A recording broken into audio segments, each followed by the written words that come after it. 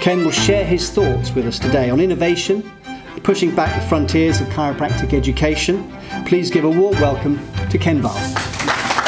First of all, I think innovation and development is essential for our profession, and in some areas, uh, uh, uh, and I won't mention which areas, there are some stagnation, I think, in the profession. It's not here, uh, but there are some areas that could do a lot, lot better than they're doing at the moment. There was someone here from Canada, I think. Uh, is there someone mentioned Canada? Yeah, they, well, Richard isn't from Canada. I, I, spoke with Jean Moss uh, uh, uh, just the other day, and she was used to be the, the, president of the CMCC, and she's now the president of the CCEI International. And, and she was very envious of the, the uh, uh, the developments that this organization is doing, getting uh, uh, universities in, in the UK that are, are developing chiropractic courses. They've tried in Canada and, and they haven't really succeeded more than those two that are there now. So, well done. Now, examples of innovation. I'll give you three examples. Uh, Matthew has already alluded to one of them which obviously I've been involved with uh, a lot myself.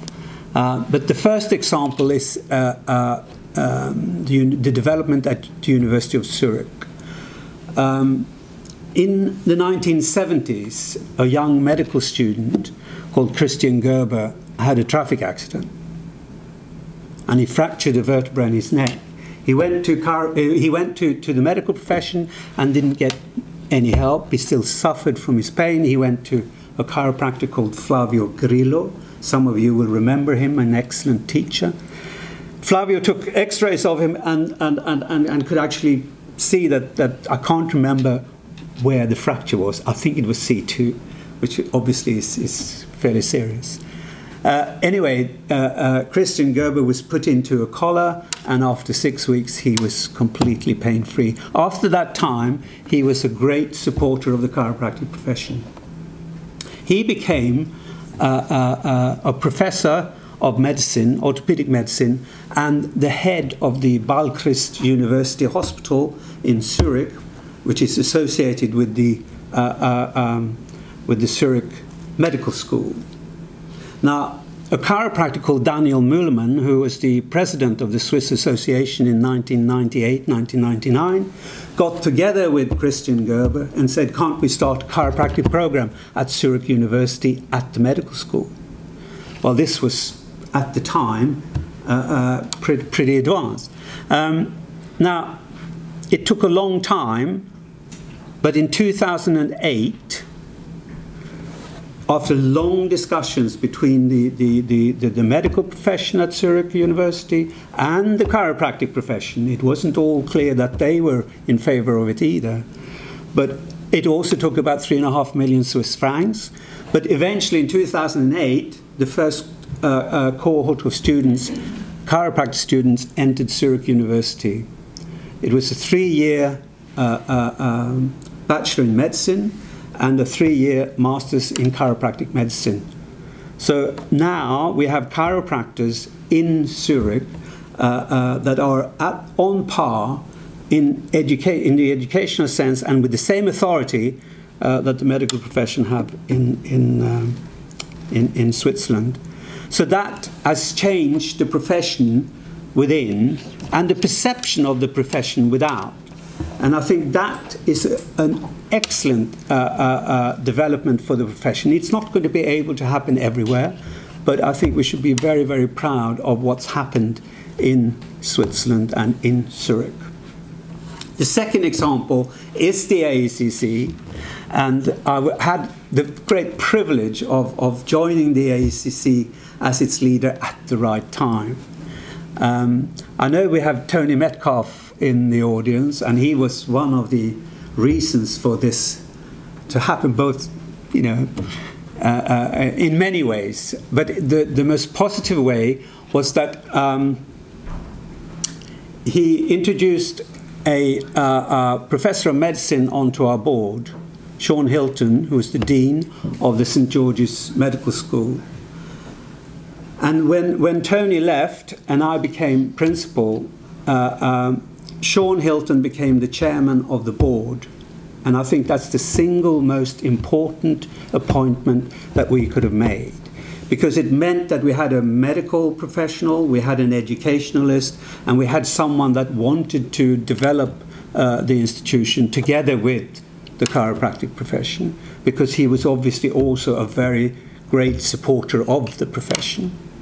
So that, I think, is, is, is, is it's, again shows that there are individuals at the right time. Like in Switzerland, you have two individuals at the ACC. there were two individuals that actually got together and could develop it. Obviously, at the ACC, we are standing on the shoulders of many, many, and some of you are here and know that this, this the AECC has been developed by, by a lot of effort from many people.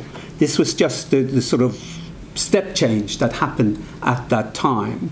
We were able to move our accreditation, as you said, from Portsmouth University to Bournemouth University. And that allowed us public funding for our students, and that meant that we could increase the number of students at the college. It meant that the board would, would allow us to, to, to uh, uh, uh, build a new clinic. They released four and a half million pounds, together with some money from you as well. But it, it actually made it possible for us to build this clinic. It also uh, allowed us to change the structure of the board such that we removed a, a, a lot of the, the, the uh, um, power, should we say, of the chiropractic profession. And we brought in a lot of individuals with expertise in education, in finance, in, in law, in accountancy, to actually make the board much more professional. And in 2010, they accepted our strategy, which was the 2020 vision, uh, which said, as Matthew uh, pointed out, that in 2020 the ACC would be an independent healthcare university college with its own degree awarding powers. And with people like Haymo Thiel, Jenny Bolton at the ACC, that was driven through earlier than 2020. It's already happened. And now the AECC are looking at research degree awarding powers, which is a much more difficult awarding power to have. But hopefully, if they achieve that by 2020, again, that is tremendous development at you know, the forefront of, of and pushing the profession forward. Now, the third example of, of innovation and development in chiropractic education, and we're talking about education here now, is, is the University of Central Queensland in Australia.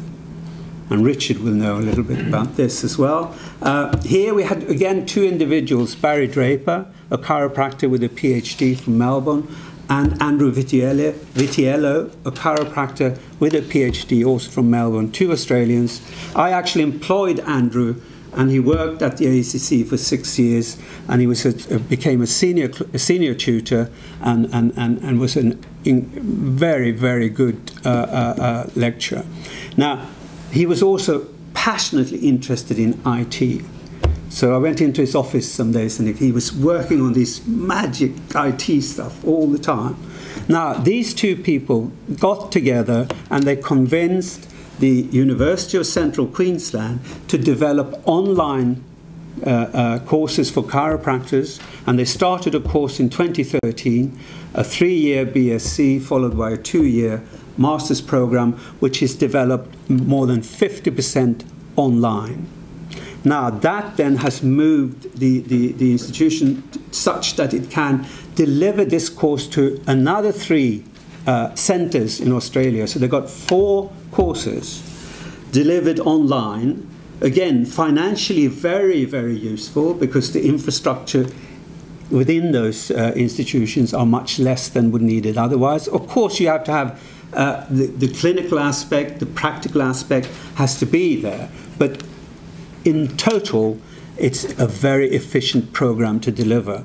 It has also allowed access to students that would never have contemplated uh, uh, uh, uh studying chiropractic because they can have a much better life balance together with their studies. They can do them, as I said, online, a lot of it, can still do some work, can still earn some money during the time. And also, it's, it's, it's delivered at, at four different locations.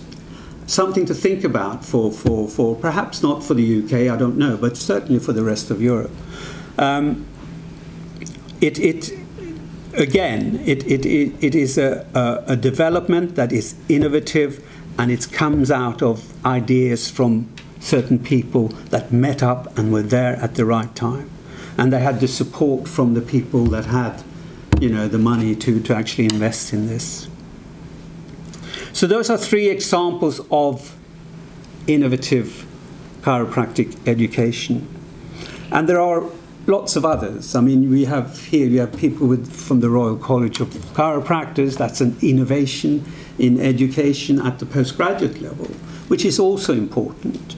Uh, um, but going forward, I think this, this uh, uh, um, the Society for Promoting Chiropractic Education, growing the profession, I think it's, it's excellent. What I, what I would uh, focus on is collaborate, collaboration. That should be in the next strategy. I would like you to create a space for these institutions that you actually help develop now.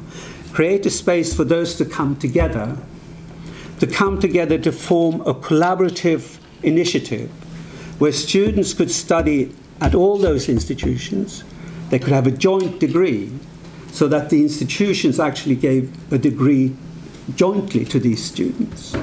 Uh, you can get the staff, the chiropractic staff together to develop innovative ways of teaching chiropractic technique, of developing, that's something that I find is not developed hardly at all over these years, very little. It should be a lot more. We should do a lot more on that. But if you got these institutions together, they could pool the knowledge, pool, get the, the other teaching staff together to develop online courses specifically for this consortium, for this collaboration. Uh, start joint summer schools where students who are not got the qualification to access chiropractic training could do summer schools in order to, to be able to enroll in these uh, uh, institutions. Get the researchers together to, to, to create a body of researchers that could have uh, uh, uh develop research which would have much more impact and perhaps also guide them to research that has much more uh, uh, impact on the practical part of chiropractic rather than some esoteric type. I think we spent a lot of money on research and perhaps not got enough out of it. I'll come back to that in a minute. Um, get the management together to create uh, uh, uh, leadership courses for our young graduates so that you know you don't have all these old fogies standing talking to you all the time we need a lot of renewal in, in the profession. So I think that you can do that. And reflecting on my own sort of next year, it was 50 years since I entered this profession.